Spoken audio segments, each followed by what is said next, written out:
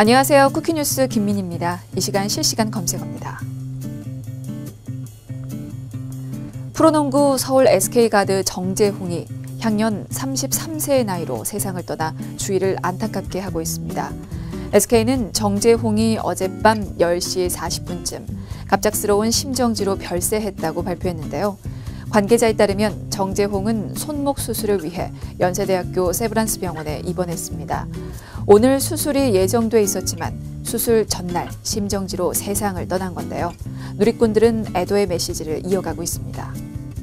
그곳에선 행복해요.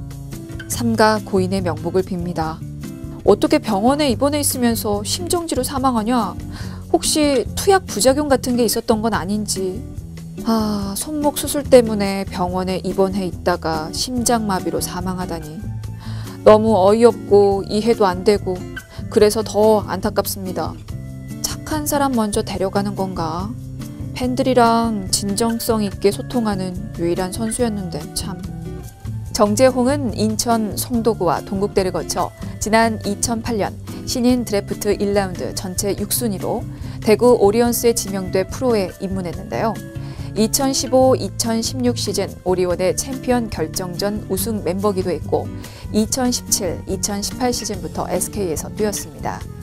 178cm의 단신이었지만 자비로 미국 현지의 스킬 트레이닝을 다녀올 정도로 농구에 대한 열정이 남달랐는데요.